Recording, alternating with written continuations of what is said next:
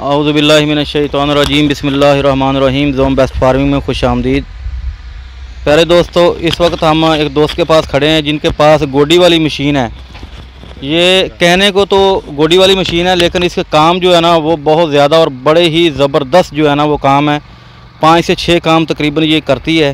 اور اس کی تفصیلات، انشاءاللہ تعالی ان دوستوں سے جان لیتے ہیں کہ کیا کیا یہ کام کرتی ہے۔ بہت ہی اعلیٰ قسم کی یہ چائنا کی مشین ہے۔ ان سے پوری تفصیلات معلوم کرتے ہیں۔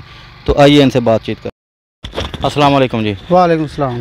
بجانا آپ کا نام کیا ہے جی؟ میرا نام حبیب خان سی تے جی۔ میں اس وقت کھڑا جرمیاں ملا سنگھ جی۔ تے جناب میں جڑی گوڈی والی مشین لے گیا ایک ماہ ہو گیا مجھے لیا ہاں۔ اچھا۔ تے تقریباً مجھے دو لکھ چ پی ہے۔ ਇਹਦੇ ਵਿੱਚ ਹੋਰ ਵੀ ਸਮਾਨ ਹੈਗਾ ਸਾਰਾ ਪਾ ਕੇ ਮੈਨੂੰ 2 ਲੱਖ ਰੁਪਏ ਚ ਪੈ ਗਈ। ਇਹਦੇ ਚ ਕੋਈ ਗੋਡੀ ਹੈ, ਆਪਣਾ ਖਿਲਾ ਕੱਢਣ ਵਾਲੀ ਵੀ ਚਾਹੀ ਮੈਂ ਲਿਆ ਕੇ ਆਇਆ। ਕੀਮਤ ਇਹਦੀ ਜਿਹੜੀ ਹੈ ਨਾ ਉਹ ਉਹ 2 ਲੱਖ ਰੁਪਏ 95 ਹੈ। ਠੀਕ ਹੈ ਜੀ। ਇਸ ਟਾਈਮ ਤੁਸੀਂ ਸਾਡੇ ਸਾਹਮਣੇ ਇਹਦੇ ਨਾਲ ਗੋਡੀ ਕਰ ਰਹੇ ਹੋ। ਜੀ। ਲੇਕਿਨ ਇਸ ਤੋਂ ਇਲਾਵਾ ਇਹਦੇ ਵਿੱਚ ਕਿਹੜੇ ਕਿਹੜੇ ਫੰਕਸ਼ਨ ਨੇ ਜਿਹੜੇ ਮਤਲਬ ਤੁਸੀਂ ਇਹ ਕਰ ਸਕਦੇ ਫੰਕਸ਼ਨ ਹੋ? ਆ ਜੀ ਨੰਬਰ 1 ਤੇ ਇੱਕ ਗੋਡੀ ਕਰਦੀ ਹੈਗੀ ਹੈ। ਠੀਕ ਹੋ ਗਏ ਠੀਕ ਹੈ ਦੂਸਰੀ ਇਹਦੇ ਚ ਲੱਗਦਾ ਪਿਆ ਜੀ ਪਿੱਛੇ ਪਾਣੀ ਵਾਲਾ ਪੰਪ। ਠੀਕ ਹੈ। ਉਹ ਅਸੀਂ ਸਾਹਮਣੇ ਬੋਰ ਕੀਤਾ ਹੈਗਾ। ਠੀਕ ਹੈ। ਉਹਦੇ ਚ ਪਾਣੀ ਲਾ ਰਿਹਾ 2 ਏਕੜ ਕਰੇਲਾ ਲਾਇਆ ਹੈ ਥਾਂ ਇਹਨੂੰ ਪਾਣੀ ਉਹਦੇ ਤੋਂ ਲਾ ਰਿਹਾ ਮੈਂ। ਤੇ ਤੀਸਰਾ ਇਹ ਜਿਹੜੀ ਇਹਨਾਂ ਡਿਚਰ ਇਹਦੇ ਪਿੱਛੇ ਮੈਂ ਫਿੱਟ ਕੀਤਾ ਹੈਗਾ। ਉਹਦੇ ਨਾਲ ਮੈਂ ਵੱਟਾਂ ਵੀ ਪਾ ਖਿਲਾਂ ਕੱਢ ਰਿਹਾ। ਹੈ ਤੇ ਨਾਲ ਗੋਡੀ ਕਰ ਰਿਹਾ ਖਿਲਾਂ ਦੇ ਵਿੱਚ। ਠੀਕ ਹੈ ਮੈਂ 3 ਏਕੜ ਪਪੀਤਾ ਵੀ ਲਗਾਇਆ। ਮਾਸ਼ਾ ਠੀਕ ਹੈ ਉਹਦੀ ਮਾਸ਼ਾਅੱਲਾ ਗੋਡੀ ਕੀਤੀ ਹੈ ਮੈਂ ਬਿਹਤਰੀਨ ਨਤੀਜੇ ਆ ਰਹੇ ਨੇ ਉਹਦੇ। ਤੇ ਕੋਈ ਸਾਈਡ ਜਿਹੜਾ ਨਾ ਉਹ ਕੁਝ ਨਹੀਂ ਹੈਗਾ ਉਹਦੇ ਵਿੱਚ। ਬਿਲਕੁਲ ਅਸੀਂ ਸਾਫ਼ ਕੀਤਾ ਹੋਇਆ। ਹੈ। ਤੇ ਉਹ ਵੀ। ਇਨਸ਼ਾਅੱਲਾ ਤੁਹਾਨੂੰ ਦਿਖਾ ਦਿਆਂਗੇ। ਠੀਕ ਹੈ। ਤੇ ਰੈਪਰ ਵੀ ਇਹਦੇ ਵਿੱਚ ਲੱਗਦਾ ਹੈ ਪੱਠੇ ਵੀ ਕੱਟ ਸਕਦੀ ਏ। ਚਾਰਾ ਜਿਹਨੂੰ ਕਹਿੰਦੇ ਅਸੀਂ। ਠੀਕ ਹੈ। ਤੇ ਇਹ ਗੰਦ ਵੀ ਦੱਸੋ ਕੱਟਦੀ ਏ। ਕਿ ਜਿਹੜਾ ਠੀਕ ਹੈ। ਚਾਰਾ ਹੈ ਜੀ। ਉਹਦੇ ਵਿੱਚ ਕਿਹੜਾ ਕਿਹੜਾ ਇਸ਼ਾਰਾ ਕੱਟ ਲੈਂਦੀ? ਜਨਾਬ ਇਹ ਚਾਰਾ ਕੱਟਦੀ ਏ ਬੜੇ ਪੱਠੇ ਜਿਹੜੇ ਟਾਂਡੇ ਵਗੈਰਾ ਮਕਈ ਵਗੈਰਾ ਹੋ ਗਈ ਬਾਜਰਾ ਵਗੈਰਾ ਹੋ ਗਈ ਉਹ ਵੀ ਕੱਟ ਲੈਂਦੀ ਹੈ ਲੇਕਿਨ ਉਹਦਾ ਰੈਪਰ ਹੋਰ ਹੁੰਦਾ ਹੈ ਅੱਛਾ। ਠੀਕ ਹੈ ਉਹਦੀ ਚੌੜਾਈ ਜ਼ਿਆਦਾ ਹੁੰਦੀ ਹੈ ਉਹਨੂੰ ਮੇਰੇ ਖਿਆਲ 'ਚ ਤਿੰਨ ਬੈਲਟ ਲੱਗੇ ਨੇ ਕਿ ਜਾਂ ਦੋ ਬੈਲਟ ਲੱਗੇ ਹੁੰਦੇ ਨੇ। ਇੱਕ ਬੜਾ ਬੈਲਟ ਲੱਗਾ ਹੁੰਦਾ ਉੱਪਰ ਕਰਕੇ ਉਹ ਟਾਂਡੇ ਨੂੰ ਗਿਰਨ ਨਹੀਂ ਦਿੰਦਾ। ਤੇ ਜਿਹੜੀ ਗੰਦਮ ਕੱਟਣ ਵਾਲਾ ਉਹ ਦੂਸਰਾ ਸੇਮ ਜਿਸ ਨਾਲ ਟਰੈਕਟਰ ਨੂੰ ਲੱਗਾ ਹੁੰਦਾ ਨਾ ਸੇਮ ਐਸਾ ਹੀ ਹੁੰਦਾ। ਉਹ ਤਕਰੀਬਨ 3 ਫੁੱਟ ਦਾ ਹੁੰਦਾ ਉਹ। ਤੇ ਉਹਦੇ ਨਾਲ ਅਸੀਂ ਕੱਟਨੇ ਆ। ਅੱਛਾ ਤੇ- ਇਹਦੇ ਵਿੱਚ ਤੁਸੀਂ ਇਹ ਦੱਸੋ ਕਿ ਜਿਹੜਾ ਟਾਂਡੇ ਵਗੈਰਾ ਜਾਂ ਮੋਟੀ ਜਵਾਰ ਹੈ ਮਕਈ ਹੈ ਇਸ ਤਰ੍ਹਾਂ ਦੀ ਚੀਜ਼ਾਂ ਜਿਹੜੀਆਂ ਕੱਟਣ ਵਾਸਤੇ ਉਹਦਾ ਜਿਹੜਾ ਉਹ ਰੈਪਰ ਨਾਲ ਉਹ ਤੁਹਾਨੂੰ ਮਿਲਦਾ ਹੈ ਕਿ ਕਟਰ ਨਹੀਂ ਉਹ ਅਲੱਗ ਦਿੰਦੇ ਨੇ। ਸਮਾਨ ਇਹਦਾ ਅਲੱਗ ਮਿਲਦਾ ਸਾਰਾ ਜੀ ਅੱਛਾ ਉਹ ਅਲੱਗ ਖਰੀਦਣਾ ਪੈਂਦਾ? ਜੀ ਜੀ। ਠੀਕ ਹੈ। ਤੇ ਉਹ ਅਲੱਗ ਲੈਣਾ ਪੈਣਾ ਜਿਹੜਾ ਅਗਰ ਚਾਰਾ ਕੱਟਣ ਵਾਲਾ ਉਹ ਅਲੱਗ ਮਿਲੇਗਾ ਗੰਦਮ ਕੱਟਣ ਵਾਸਤੇ ਉਹ ਜਿਹੜਾ ਨਾ ਉਹ ਤੁਹਾਨੂੰ ਜਿਹੜਾ ਜਿਹੜਾ। ਤੁਸੀਂ ਲੈਣਾ ਚਾਹੁੰਦੇ ਹੋ ਉਹ ਤੁਸੀਂ ਇਹਦੇ ਨਾਲ ਮਤਲਬ ਤੁਸੀਂ ਲੈ ਕੇ ਲਗਾ ਸਕਦੇ ਹੋ। ਲਾ ਸਕਦੇ ਹੋ। ਪੰਜ ਫੰਕਸ਼ਨ ਇਹਦੇ ਵਿੱਚ ਮੌਜੂਦ ਨੇ। ਜੀ ਜੀ। ਇੱਕ ਹੋ ਗਿਆ ਗੰਦਮ ਦੀ ਕਟਾਈ। ਜੀ। ਇੱਕ ਇਹਦੇ ਨਾਲ ਗੋਡੀ ਤੁਸੀਂ ਕਰ ਸਕਦੇ ਹੋ। ਜੀ ਜੀ ਦੋ ਹੋ ਗਏ। ਤੁਸੀਂ ਚਾਰਾ ਕੱਢ ਸਕਦੇ ਹੋ। ਜੀ ਠੀਕ ਹੈ। ਤਿੰਨ ਪਾਣੀ ਕੱਢ ਸਕਦੇ ਪਾਣੀ ਇਹਦੇ ਨਾਲ ਕੱਢ ਸਕਦੇ ਹੋ ਪੰਪ ਤੇ ਟਿਊਬਲ ਤੇ ਠੀਕ ਹੈ ਜੀ। ਚਾਰ ਔਰ ਇਹਦੇ ਨਾਲ ਖੇਲੀਆਂ ਵੀ ਤੁਸੀਂ ਖੇਲੀਆਂ ਪਾ ਪਾਣੇ। ਇਹਦੇ ਨਾਲ ਤੇ ਗੁਡਾਈ ਕਰਦੇ ਇਹਦੇ ਨਾਲ ਕਿੰਨੇ ਫੁੱਟ ਤੱਕ ਤੁਸੀਂ ਚੌੜਾਈ ਇਹਦੀ ਰੱਖ ਸਕਦੇ ਹੋ। ਖੇਲੀਆਂ ਦੀ ਜੀ ਖੇਲੀਆਂ ਦੀ ਤਕਰੀਬਨ ਆ ਜਿਹੜਾ ਮੈਂ ਡਿਚਰ ਲੈ ਕੇ ਆਇਆ ਨਾ ਜੀ ਇਹ ਤਕਰੀਬਨ 1 ਫੁੱਟ ਤੱਕ ਸਵਾ ਫੁੱਟ ਤੱਕ ਗੁੜਦਾ ਪਿਆ ਹੈਗਾ ਵਿੱਚੋਂ ਅੱਛਾ ਖੇਲੀ ਵੀ ਬਿਹਤਰੀਨ ਬਣਾਉਂਦਾ ਮੇਰੀ ਕਿਉਂਕਿ ਅਸੀਂ ਪਪੀਤਾ ਜਿਹੜਾ ਗੁੱਡਨੇ ਆ ਨਾ ਉਹਦੇ ਨਾਲ ਸਾਡੀਆਂ ਸਾਰੀਆਂ ਖੇਲੀਆਂ ਖਤਮ ਹੋ ਜਾਂਦੀਆਂ ਪਹਿਲੀਆਂ ਫਿਰ ਅਸੀਂ ਨਵੀਆਂ ਉਹਦੇ ਨਾਲ ਕੱਢੀਆਂ ਨੇ। ਠੀਕ ਹੈ। ਤੇ ਉਹਦੇ ਪਿੱਛੇ ਦੂਸਰਾ ਇੱਕ ਲੱਗ ਜਾਂਦੀ ਹੈ ਦੂਸਰੀਆਂ ਫਾਲੀਆਂ ਵੀ ਲੱਗ ਜਾਂਦੀਆਂ 2 ਫੁੱਟ ਤੱਕ ਵੀ ਤੁਸੀਂ ਇਹਨੂੰ ਕਰ ਸਕਦੇ ਹੋ ਉਹਦੀ ਗੁਡਾਈ ਵਿੱਚ ਖਿਲੇ ਦੇ ਡੇਢ ਨਹੀਂ ਯਾਨੀ ਇਹ ਖੇਲੀ ਬਣਾਉਂਦਾ ਤਾਂ ਖੁਦ ਹੀ ਹੈ ਨਾ? ਜੀ ਜੀ। ਤੇ ਉਹਦੀ ਇਹ ਕਿੰਨੀ ਚੌੜਾਈ ਤੁਸੀਂ ਜਿੰਨੀ ਮਰਜ਼ੀ ਰੱਖ ਲਓ ਆਪਣੀ ਖੇਲੀ ਜਿਹੜੀ ਤਕਰੀਬਨ ਉੱਪਰ ਸੇ 1.5 ਫੁੱਟ ਤੱਕ ਜਿਹੜੀ ਹੈ ਨਾ ਖੇਲੀ ਇਹਦੀ ਨਿਕਲ ਆਉਂਦੀ ਹੈ 1.5 ਪੌਂਡ 1.5 ਫੁੱਟ ਦੀ ਚੌੜਾਈ ਦੇ ਵਿੱਚ। ਖੇਲੀ। ਖੇਲੀ ਬਿਹਤਰੀਨ ਸਾਫ਼ ਬਿਹਤਰੀਨ ਖੇਲੀ ਨਿਕਲਦੀ ਸਾਨੂੰ ਉਹਦੇ ਨਾਲ ਕੋਈ ਪਰੇਸ਼ਾਨੀ ਨਹੀਂ ਹੋਗੀ। ਸਾਡੇ ਕਿ ਸਾਡੀ ਉਹ ਜ਼ਮੀਨ ਥੋੜੀ ਉੱਪਰ ਨੀਚੇ ਵੀ ਹੈ ਸੀ ਲੇਕਿਨ ਉਹਦੀ ਵਜ੍ਹਾ ਨਾਲ ਉਹ ਬਿਲਕੁਲ ਬਿਹਤਰੀਨ ਇਹਨੇ ਕੱਢੀ ਹੈਗੀ ਖੇਲੀ ਯਾਨੀ ਇੱਕ ਬਿਲਕੁਲ ਛੋਟੀ ਜੀ ਮਸ਼ੀਨ ਹੈ ਚਾਈਨਾ ਦੀ ਜੀ ਜੀ। ਔਰ ਉਹਦੇ ਕੋਲ ਤੁਸੀਂ ਕੰਮ ਬੜੇ ਵੱਡੇ ਵੱਡੇ ਲੈ ਰਹੇ ਜੀ ਹੋ। ਵੱਡੇ ਕੰਮ ਮਤਲਬ ਆਮ ਹੁਣ ਟਰੈਕਟਰ ਜਿਹੜਾ ਨਾ ਉਹ ਇੱਕ ਦੋ ਹੀ ਕੰਮ ਕਰਦਾ ਲੇਕਿਨ ਇਹ ਤੇ ਮਾਸ਼ਾਅੱਲਾ ਜਿਹੜੇ ਨੂੰ ਪੰਜ ਛੇ ਕੰਮ ਕਰਦੀ ਜੀ, ਹੈ ਜੀ। ਗੰਦਮ ਦੀ ਵੀ ਕਟਾਈ ਖੇਲੀਆਂ ਵੀ ਬਣਾਓ ਜੀ। ਗੋਡੀ ਵੀ ਕਰੋ। ਔਰ ਥੋੜੇ ਜੇ ਜਿਹੜੇ ਨਾ ਏਰੀਆ ਦੇ ਵਿੱਚ ਇਹਦੇ ਨਾਲ ਜਿਹੜੀ ਹੈ ਨਾ ਖੇਲੀਆਂ ਤੇ ਗੁਡਾਈ ਹੋ ਸਕਦੀ ਹੈ। ਜੀ ਇਹ ਮਿਨੀ ਟਰੈਕਟਰ ਹੈ ਜੀ। ਮਿਨੀ ਟਰੈਕਟਰ ਹੈ ਜੀ। ਬਿਲਕੁਲ। ਤੇ ਇਹ ਤੁਸੀਂ ਕਿੱਥੋਂ ਖਰੀਦੀ ਹੈ? ਇਹ ਮੈਂ ਲਾਹੌਰ ਤੋਂ ਲੈ ਕੇ ਆਇਆ ਜੀ। ਅੱਛਾ। ਐਗਰੋ ਪਾਵਰ ਤੋਂ। ਐਗਰੋ ਪਾਵਰ ਵਾਲਾ। ਕੋਲੋਂ। ਤੇ ਤੁਸੀਂ ਪਪੀਤਾ ਕਿੰਨਾ ਲਾਇਆ ਜੇ? ਪਪੀਤਾ 3 ਏਕੜ। 3 ਏਕੜ। ਉਹ ਸਾਰੀ ਗੋਡੀ ਇਹਦੇ ਨਾਲ ਤੁਸੀਂ ਕਰਦੇ ਹੋ? ਹਾਂਜੀ। ਇਹਦਾ ਤੇਲ ਦਾ ਖਰਚਾ ਕਿੰਨਾ ਕੁ? ਤੇਲ ਦਾ ਖਰਚਾ ਉਹਦੇ ਚ ਤੇ ਜਿਹੜਾ ਨਾ 5-6 ਲੀਟਰ ਖਾਂਦੀ ਹੈ ਤਕਰੀਬਨ। 1 ਏਕੜ ਦਾ। ਇੱਕ ਏਕੜ ਦਾ ਦੋ 5 ਦਫਾ ਅਸੀਂ ਤਿੰਨ ਦਫਾ ਵੀ ਵਿੱਚ ਉਹਦੇ ਫੇਰ ਲੈਨੇ ਆ ਅੱਛਾ। ਪਹਿਲੀ ਦਫਾ ਥੋੜਾ ਮੁਸ਼ਕਲ ਹੁੰਦੀ ਹੈ ਜ਼ਿਆਦਾ ਖਾਂਦੀ ਹੈ ਕਿਉਂਕਿ ਉਹ ਵਟਾਂ ਜਿਹੜੇ ਬੈਲੈਂਸ ਨਹੀਂ ਹੁੰਦਾ ਫਿਰ ਉਸ ਤੋਂ। ਬਾਅਦ ਇਹ ਘੱਟ ਖਾਂਦੀ ਹੈ ਤੇਲ। ਠੀਕ ਹੈ।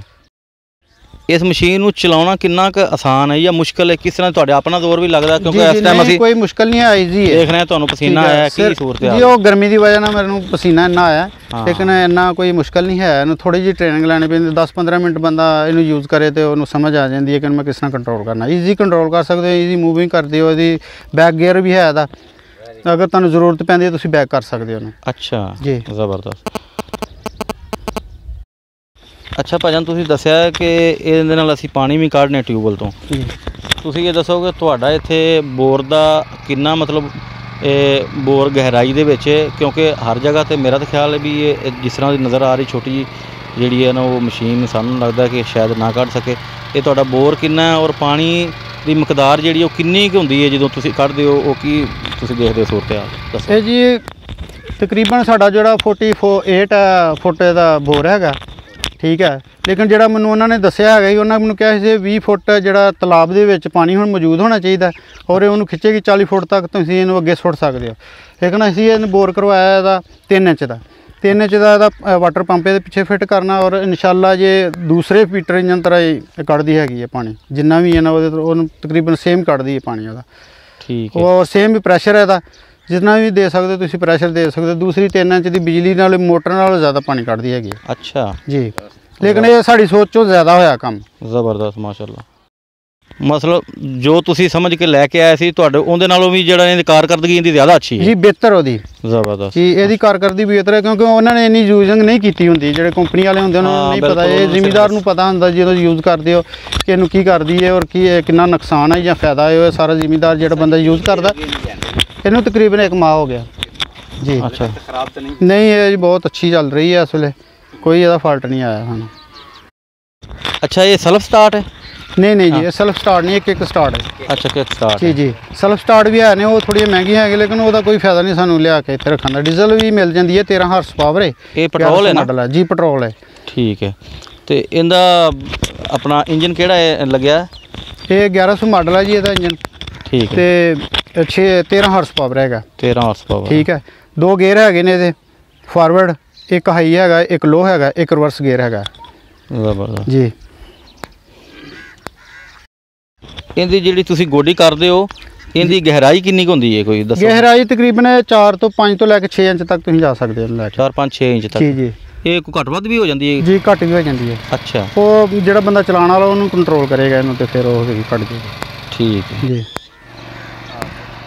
ਉਹ ਤੁਸੀਂ ਕਿਸ ਤਰ੍ਹਾਂ ਇਹ ਅਹ, ਇਹਨੂੰ ਕੰਟਰੋਲ ਕਰਦੇ ਹੋ ਯਾਨੀ ਮ- ਅਗਰ ਗੋਡੀ ਥੋੜੀ ਕਰਨੀ ਹੈ ਜਾਂ ਜ਼ਿਆਦਾ ਗਹਿਰੀ ਕਰਨੀ ਹੈ ਉਹਨੂੰ ਕਿਸ ਤਰ੍ਹਾਂ ਜੀ ਕਰਦੇ ਹੋ ਇਹਦੇ ਪਿੱਛੇ ਡਿਸਟੈਂਸ ਲੱਗੀ ਹੋਈ ਆ ਅੱਛਾ ਇਹਨੂੰ ਉੱਪਰ ਨੀਚੇ ਤੁਸੀਂ ਕਰ ਸਕਦੇ ਹੋ ਉਹਦੇ ਮੁਤਾਬਕ ਇਹ ਤੁਹਾਡੀ ਜਿਹੜੀ ਹੈ ਨਾ ਗੋਡੀ ਨੂੰ ਕੰਟਰੋਲ ਕਰੇਗੀ ਠੀਕ ਹੈ ਜ਼ਬਰਦਸਤ ਔਰ ਅਗਰ ਕਿ- ਕਿਸੇ ਜਗ੍ਹਾ ਕੰਮ ਕਰਨਾ ਥੋੜਾ ਸਾ ਇਹਨੂੰ ਹਲਕਾ ਸਾ ਉੱਪਰ ਕਰ ਦੇਣਾ ਪਿੱਛੋਂ ਹਾਂ ਔਰ ਇਹ ਕੰਮ ਚੱਲਣਾ ਸ਼ੁਰੂ ਹੋ ਜਾਏਗਾ ਨੀਚੇ ਕਰੋਗੇ ਅ, पूरी ये गुड़ाई करनी शुरू कर देगी अपनी ठीक जी नाजरीन आपने देखा अ, बजान की बातें भी सुनी کہ وہ استعمال کر رہے ہیں اس منی ٹریکٹر کو اور بتا رہے ہیں کہ جو ہم سمجھ کے لے کے آئے تھے اس سے بھی اس کی کارکردگی ہمیں زیادہ نظر آ رہی ہے اور بہت ہی زبردست چیز ہے۔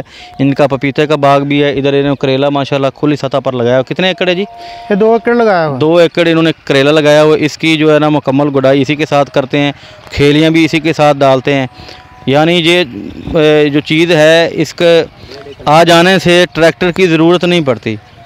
ٹھیک ہے نا؟ اچھا یہ بتائیں بھائی آخری سوال ہے کہ اس پہ آپ پہلے ٹریکٹر پھر چلانا ضروری کہ اس کے ساتھ گزارا ہو جاتا ہے؟ یعنی جو جس طرح ہم حال چلاتے ہیں۔ نہیں جی ایسا ٹریکٹر چلانے کی ضرورت ہی نہیں ہے اس میں۔ اچھا۔ یہ کریلے لگا دیے ابھی۔